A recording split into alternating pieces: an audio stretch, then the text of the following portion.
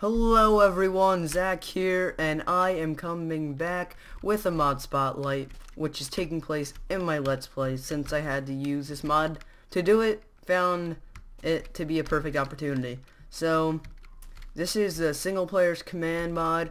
I'm not going through all the commands, I guess I can go through some basic ones, but no, I'll do that in a different video. This is just going to be the wand command. So if you guys want to know how to do that, I know I wanted to do it, but I had to find out myself, and I found out how to do it. So what you need is you need some sticks and some wood. I need to make some sticks. So you get some sticks, you get your sticks, get your wood, you put them together, get an axe.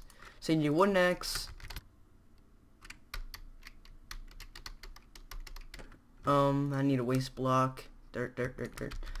You will most likely need a waste well, you will need a waste block unless you build like on a mountain or you want to cut or paste a mountain or move a mountain. I don't know what you want to do.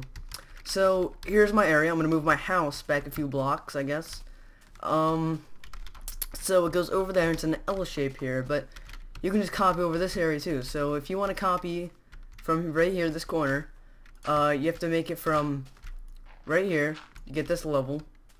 And then you have to get it from, or it's down one actually. I haven't used this command forever, so I think that you have to copy from here. So you copy from there, and then from your one corner, and you have to go all the way to your other corner. But the thing is about this one is you can't just copy from down here, otherwise it doesn't give you the height. So you gotta go up, and then you gotta go here, and then you gotta go over. So it's over the corner where you did that one.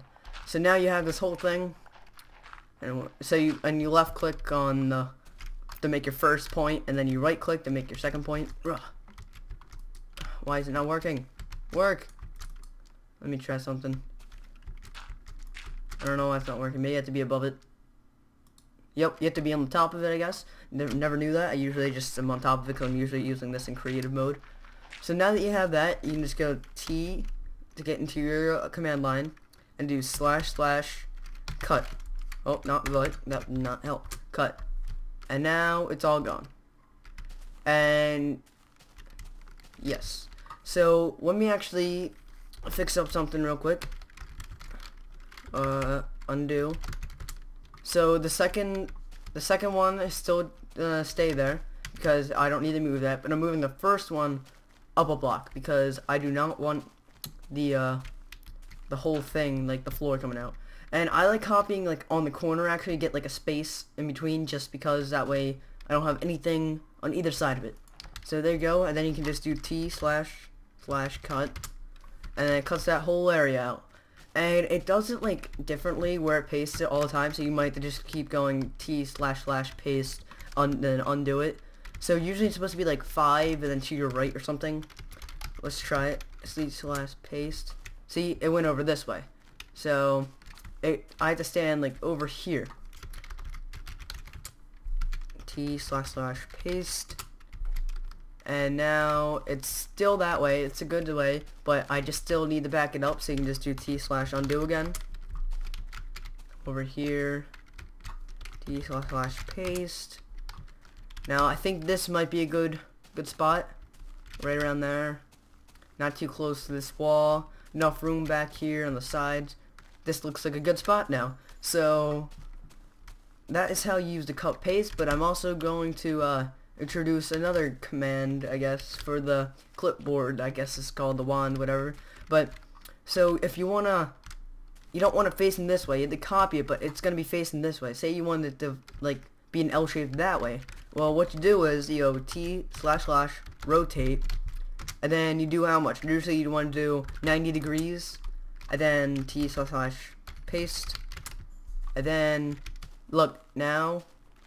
Now which way is it facing? Now it's facing this way.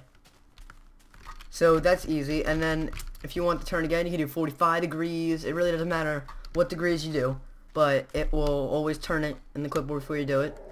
And you can always undo what you don't like.